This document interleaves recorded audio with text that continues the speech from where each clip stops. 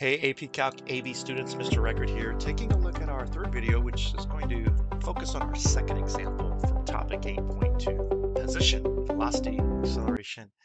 Now that we know integration, we can toss that into the mix. And even though we're talking about motion typically on the AP exam that's in a straight line, sometimes that straight line could be vertically up and down. And so we're going to take a look at a very interesting amusement park ride called the Space Shot. But before we do that, I can tell you're excited.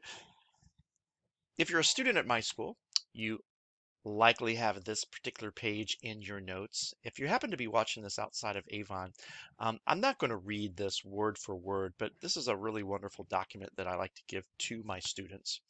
And basically, what it has is just a, a, variety of expressions that you could encounter in certain word problems and how those expressions would be translated uh, into mathematics. And there's a lot of different things, a lot of different words that could be used. So if you're interested in, in taking a closer look at this, you can always pause the video and read uh, some of the uh, things a little bit uh, more slowly to um, develop a better understanding. Now, we'll come back to that page as we need, as we encounter the vocabulary that stems from some of these questions. So what we've got is the Space Shot is an amusement park ride that gently raises riders up a tower and then rapidly bounces them up and down using compressed air. Well, that sounds like fun. The velocity of the space shot for times 0 to 14 is modeled by a piecewise linear function as shown below, where t is measured in seconds and v in feet per second. So I don't want you to get the illusion that the space shot is following the path depicted by this curve. The space shot is just going up and down.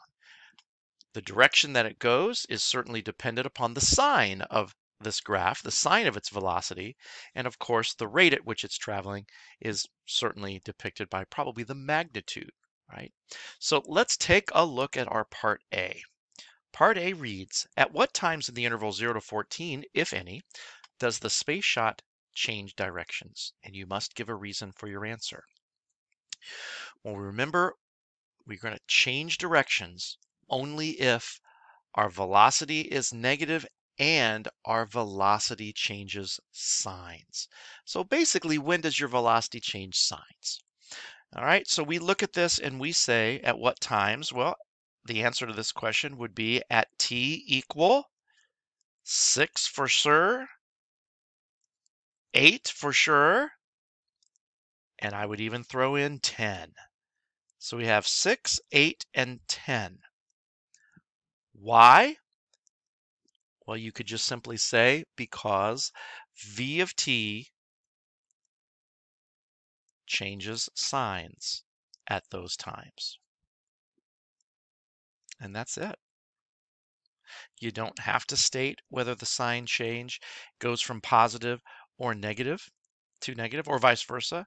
Just state that there is a sign change. Next up, at what times in the interval 0 to 14 is the space shot the highest and how high is the ride at that time? Well, this one's going to take a little bit more work because in order to do this, we're finding the maximum value. What are we finding the maximum value of? Well, it would be the maximum height. So why don't we let y of t equal the height? After all, y is a great number to use because when we've graphed, uh, we could think about the y-axis as being a height. And we could probably work off of this velocity graph, I think, fairly efficiently. So to do that, we've got to find y prime. Well, guess what y prime is? It is equal to v. We have to determine when is this graph equal to zero, or when is this graph undefined. Those are going to tell us where all of these candidates are going to be. When is the derivative equal to zero or undefined? Well, if you look at the graph, I see places where the graph is equal to zero, namely 6, 8, and 10. Boy, those sound familiar, right? we used them earlier. Now, you don't want to get confused. Some students would say, don't we have to include 5 and 7 and 9 and 10 and 12? Because aren't those places where this particular graph features sharp turns? Yes, but that's not where y prime is undefined.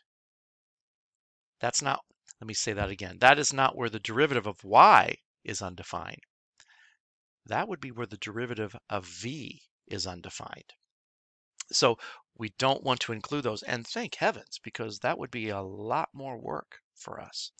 So what we have are three critical values, but then you have to realize is this a problem that requires a relative extrema approach or an absolute extrema approach? Because if you use a relative extreme argument to justify absolute extreme, you can lose some valuable points on the AP exam. And the next question, how do you know the difference? Well, I am here to help you with that. Because in this problem, we are given a strictly closed interval over which this activity is happening. And by virtue of that, that means that the absolute extrema could occur at the endpoints, and therefore those need to be tested as well. So you have to break out your candidates test. And the candidates for this problem, and there are a few, would be 0, 6, 8, 10, and 14. So that's going to be a lot of things that we have to throw into our table. So maybe we should get to that right now. So we'll build a table. I might need to make a couple of columns with my table, no big deal. So what I've got to start is uh, a t value, and then what we're trying to compute is y of t. Now let's recall, if we let t be 0, y would be the integration of the v. All right.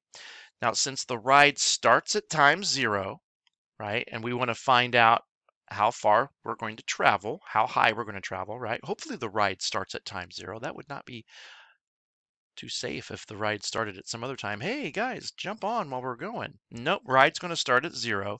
So y of t is just the integration from zero to some time value of the v. That time value is going to be what we have in the left column. So in this case, it's probably kind of silly, but you know what? I like to be silly every now and then. Let's figure this out. What is the integral of y from 0 to 0? It's 0. So you're saying that the ride is not any type of height off the ground at time 0? Nope, not when people are getting on. So I doubt that's going to be our max. Let's try another value. How about we throw in 6? So we'll integrate from 0 to 6 of our good friend y of t. Now, in order to do this, you're going to have to do a little bit of area analysis and find out for me what is the area of this shape. Well, that's just a rectangle, and we could probably pull our, did I say rectangle? I said trapezoid.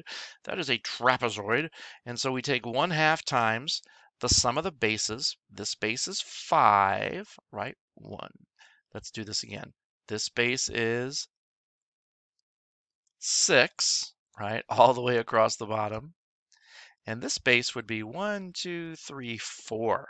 So if I add those two bases and then be sure to multiply by the height of 1, I'm going to get an answer. And actually that height is not 1. That height would be 20. Boy, it's really easy to mess up if you've got a scale change. So be careful there. And you would end up with 1 half times 10, which is 5, times 20. So you're going to get 100. Right now, that might be our winner. Now, next, this is where things get interesting. Apparently, 8 would be our next value to try for t and figure out our y of t. But as you can see, 8 is probably not a great answer. It's probably not going to have any shot of being correct.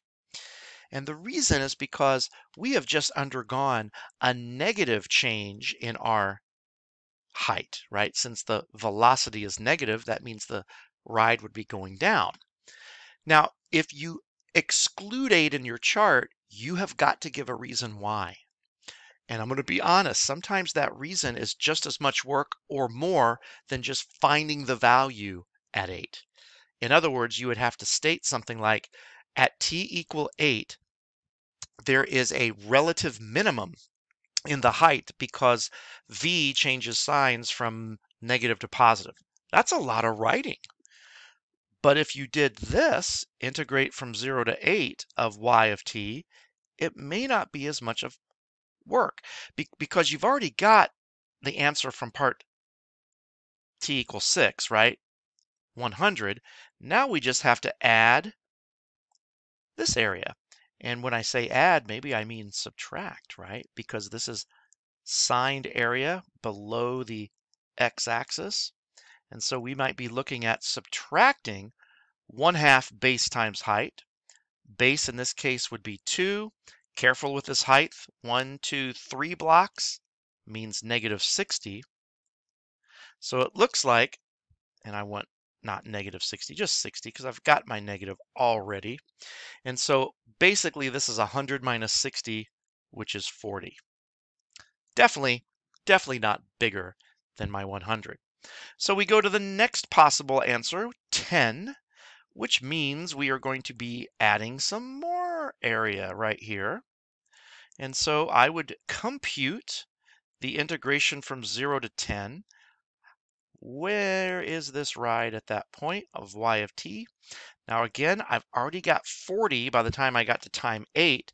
All I'm going to do now is add 1 half base of 2 height of 40, and I end up with 80, which close, but no cigar, not quite up to that 100 feet that I was earlier. Now, if you check the last point, again, it's very likely that you might view this as a waste of time because you're only going to be losing height during this interval, right? Well, if you don't want to compute it, you certainly have an alternative. The alternative would be to write up something along the lines of the function y of t is going to decrease between 10 and 14 because v is negative. You could certainly do that, but by the time you write that up, honestly, it's really no more difficult than to throw 14 in and integrate because you've already got a big part of your answer, right? 80 is what you have before this last triangle. Triangle has a base of 4. You're subtracting it, and it has a height of 40. Kind of running out of room there. So 80 minus half of 4 is 80 minus 2 times 40. 80 minus 80, and what do you know? The height's 0. Oh, maybe that's because the ride's over. It's time to get off, people. Let some more people come on this ride and enjoy all the fun. So that kind of makes sense logically. So at what times is the space shot the highest? The answer would be at time t equal 100 and the answer i'm sorry t equals 6 not 100 100 seconds that's a longer ride at time t equal 6 seconds. And all of your work is there. How high is the ride? We'll say 100 feet. Okay and i know i'm infringing a little bit on part c there.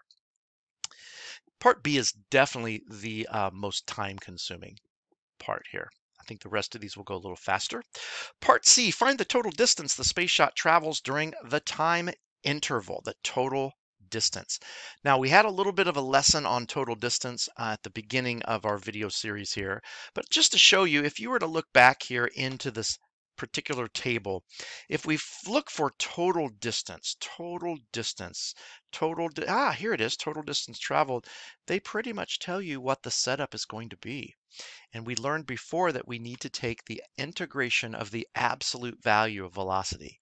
Otherwise, we might just get displacement. So always integrate speed or absolute value of velocity to get total distance. So for our particular problem, find the total distance traveled from time 0 to time 14. What we are going to do is integrate from 0 to 14 absolute value v of t. What do we get? Well, what we're going to get is a lot of the same things that we got in part B, except we're going to have to turn negative areas into positive areas. That's the whole point. So we can start off with that nice 100 remember him. But then remember when we had this negative space right here? And what we had here was a 60, right? By the times those twos canceled. This area here is negative 60. But when we reflect it above the x-axis, because the absolute values, and I forgot my other absolute value bar, we're going to get a positive 60. Now to that, we're going to add some stuff. What is it that we're going to add? Well, if you remember when we worked this over here, we had in another 40. This is what that area is going to be, 2 times 20. And then we finish up by adding what was the positive version of this area. If you remember, it was 1, 2, 3, 4 times 20, uh, sorry, 4 times 40 cut in half, which turns out to be 80. So all of those numbers add together to make 280 feet. So that would be the total distance that this ride's going to travel as you go up and then down and up and then back down to get off the ride. And then finally, write expressions for the ride's acceleration, velocity, and distance from the ground that are valid on the time interval 10 to 12. Well, I'm going to have to borrow a little bit from the graph here, if you don't mind. So if I go up here, and I'm going to erase any markings on this to make it a little clearer. And 10 to 12, if I highlight that here in, in this light blue, or maybe I use a better color. How about red? That's what we're looking at from 10 to 12. Now that's the velocity graph. If I want the acceleration, I need to take the derivative of this velocity graph. The derivative is the slope. The slope of this graph would be down 20 units over 2 units. So my acceleration is is negative 20, right? Negative 20 I'm sorry, let's do that again. It's negative 20 over 1 and negative 20 over 1. I apologize. It really would have been down 40 over 2, which is negative 20. And that takes care of the acceleration. The acceleration is just a constant. Now to find the velocity, since you have the slope, why not use the point slope formula? Pretty cool, right? I have a point here. I have a point here, but I might use this point 10 comma 0 because it looks like it's pretty chill to work with.